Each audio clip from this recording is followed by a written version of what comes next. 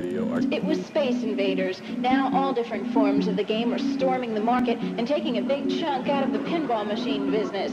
The object of most of these games is to blow the enemy up before it blows you up, and their popularity stems from their complexity.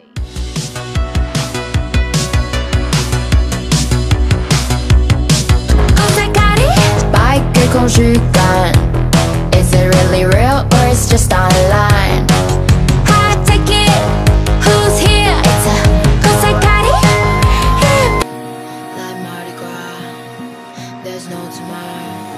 It's so bourgeois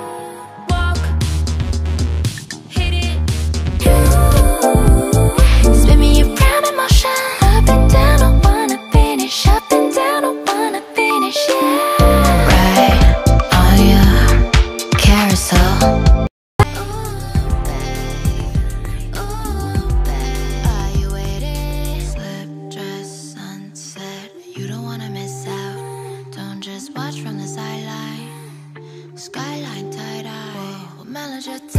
Hit the Love me. Down, down, down, down I'll make you love me